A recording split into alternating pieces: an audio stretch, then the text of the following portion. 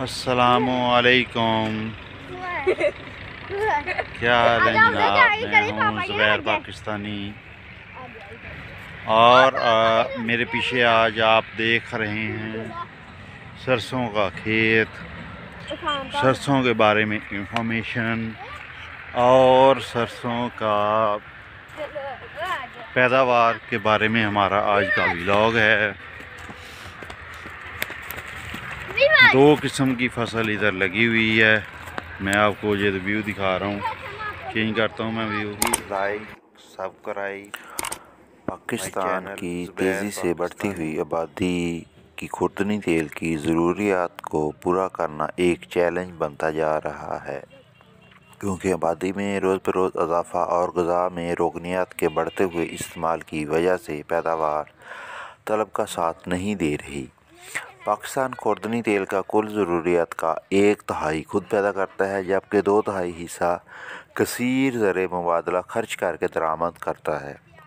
और आया जायद खरीफ और कनोला या सरसों रबी की अहम तेलदार इजनास हैं। सरसों की फ़सल जो आप देख रहे हैं, ये दो हिस्सों में काश्त की गई थी। एक को थोड़ा सा लेट काश्त किया था, जिस पे अभी तक फूल नज़र आ रहे हैं। जबकि दूसरा हिस्सा पक कर तैयार हो चुका है। वो बर्दाश्त के काबिल है, बीज भी उसमें बिल्कुल तैयार है। तो आज हम मुख्तर सा तारफ़ करते हैं इसके बारे में। राया को 15 सितंबर तक काश्त किया जा सकता है, क्योंकि इसमें गर्मी की शिद्दत बर्दाश्त करने की सलाहियत, दूसरी तेलदार अजनास की अकसाम से ज़्यादा होती है। कनौला और सरसों की काश्त तीस अक्टूबर तक की जा सकती है। अक्टूबर के पहले हफ़्ते में काश्ता, कनोला और सरसों की फ़सल काले तेले के हमला से महफूज रहती है। आम तौर पर अक्टूबर में काश की हुई फ़सल मार्च के आखिरी हफ़्ता में पक कर तैयार हो जाती है, जब पत्तों का रंग जर्द होने लगे और आया में पचहत्तर फ़ीसद और कनोला में पचास फ़ीसद फलियों का रंग बुरा हो जाए और दाने सुर्खी माइल होने लगे तो फ़सल को फ़ौर काट लेना चाहिए। फ़सल को आठ से दस दिन तक धूप में खुश करके गंदम वाली थ्रेशर की मदद से घाई कर लेनी चाहिए।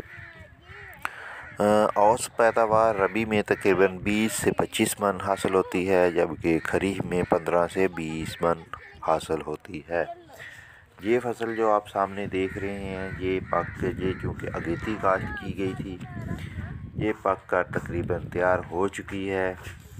इसमें हम आपको थोड़ी सी सरसों निकाल कर अभी दिखाते हैं।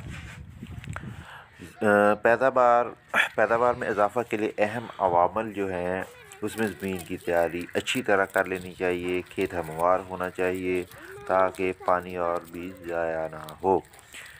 आपाश इलाकों में रवायती तेलदार अजनास सरसों कनोला और आया के लिए शरा बीज डेढ़ था दो किलोग्राम और बरानी इलाकों के लिए दो था ढाई किलोग्राम फ़ी एकड़ रखा जाता है। ये देखें माशाल्लाह बड़ी तंदुरुस्त बीज जो आपको नज़र आ रहे हैं सरसों के बीज बहुत ज़बरदस्त तंदुरुस्त हैं। रवायती तेलदार अजनास की काश बजरिया डिल तीस से पैंतालीस सेंटीमीटर के फासले पर लाइनों में करनी चाहिए।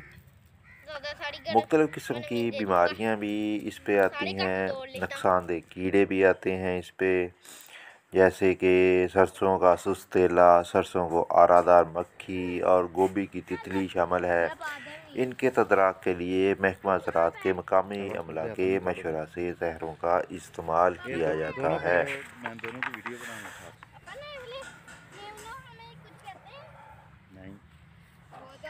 ये ऐसी फ़सल है कि इसमें बहुत ज़्यादा खादों का इस्तेमाल नहीं होता। आराम से आप थोड़ी सी भी अगर खाद इस्तेमाल कर लें तो ज़मीन की ज़रखेज़ी में इजाफ़ा हो जाता है। राया की फ़सल को अगर एक बोरी डीएपी के साथ आधी बोरी यूरिया और आधी बोरी पोटाश फ़ी एकड़ डाल दी जाए तो खेत बहुत ज़्यादा ज़रखेज़ हो जाता है और पैदावार में अच्छा खासा इजाफ़ा हो जाता है। ये फ़सल जो आप देख रहे हैं ये चूँकि अगेती काश्त की गई है देखें इसमें फ़सल जो है ना पक के तैयार हो चुकी है इसको अभी कटाई शुरू कर दी है। ये सब कुछ आप पिक्चर्स देख रहे हैं। ये ब्यूटी ऑफ़ पाकिस्तान है। पाकिस्तान में खूबसूरती ज़रात की खूबसूरती। उसकी वीडियोस में आपको दिखा रहा हूँ साथ। ये हम्म। कुछ पौधे मुंगरे के हैं। तो मुंगरे हमारी खाने वाली एक सब्ज़ी है। ये जो पीले पीले फूल आपको नज़र आ रहे हैं ये गोभी फूल जो है उसके बीज हैं। बच्चे माशाल्लाह इंजॉय करते हुए घूम फिर रहे हैं। ये था जी हमारा आज का विलाग उम्मीद है आप लोगों को पसंद आया होगा। नेक्स्ट टाइम जब हम कनोला की काश करेंगे तो इन फिर आपके साथ इसकी पूरी पैदावार जो है ना सिफारिश करदा, इकसाम भी बताएँगे, ज़मीन की तैयारी के बारे में भी आपको बताएँगे, तरीका काश्त भी आपको बताया जाएगा खादों का इस्तेमाल भी बताया जाएगा आप पाशे और जड़ी बूटियों की तलफी भी बताया जाएगी। आम तौर पर रवायती तेलदार अजनास हैं जे हमारी। इनको पहला पानी बिजाई के पंद्रह से बीस दिन के अंदर अंदर दिया जाता है। दूसरा पानी फूल निकलते वक्त और तीसरा पानी बीज बनते वक्त दिया जाता है। फ़सल को आमतौर पर तीन से चार पानी की ही ज़रूरत होती है। ज़्यादा जड़ी बूटी वाले खेत में बिजाई के फ़ौर बाद एस मेटाक्लोर बेहिसाब 800 मिलीलीटर 120 लीटर पानी में मिलाकर स्प्रे कर दी जाती है, ताकि जड़ी बूटियाँ जो है ना, उनसे बचा जाए। ये देखें जी, हनी भी शहद इकट्ठा कर रही हैं। और हमारे लिए शहद इकट्ठा हो रहा है, जो कि सेहत के लिए बहुत ही फ़ायदा है। इसका इस्तेमाल सुन्नत रसूल सल्लल्लाहु अलैहि वसल्लम भी है। हर किस्म की बीमारी के लिए बहुत बेहतरीन है। तो पैदावार में इजाफ़े के लिए और मैं आपको मुख्तलिफ़ अवामल बताता हूँ। रवायती तेलदार अजनास की काश्त तार वत्तर में हो ना करना। और बीज डेढ़ इंच से ज़्यादा गहरा ना हो। रवायती तेलदार अजनास में कतारों की का फासला तीस से पैंतालीस सेंटीमीटर हो। अकसाम को मद्देनज़र रखते हुए मतरासब खादें इस्तेमाल करनी चाहिए। बीमारियों और कीड़ों के हमले की सूरत में महकमा ज़रात के अमले से मदद लेनी चाहिए। राया में पचहत्तर फ़ीसद और कनौला में पचास फ़ीसद फलियों का रंग बुरा हो जाए तो सुर तो सुर्खी माइल होने लगे तो फ़ौर फ़सल को काट लेना चाहिए। ये हैं जी इसके पैदावार में इजाफ़ा के कुछ अजाफ़ी, अमामल, मकम्मल व्लॉग हम इन आपके साथ। जब इसका काश्त का टाइम होगा, फिर उस टाइम आपके साथ शेयर करेंगे, क्योंकि अभी बर्दाश्त का टाइम है। फ़सल तैयार थी तो मैंने ये एक छोटा सा व्लॉग बनाया, ताकि आपके साथ कुछ इन्फॉर्मेशन शेयर कर सकूँ। ये देखें, ऐसे हाथ से तोड़ के मैंने इसको चेक किया है।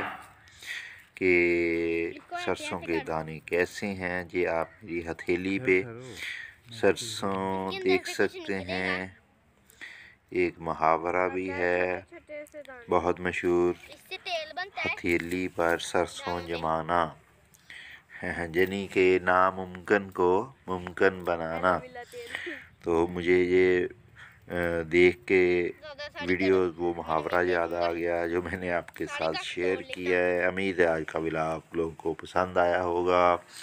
Thanks for watching my channel Zubair Pakistani please like subscribe my channel Zubair Pakistani Allah हाफिज़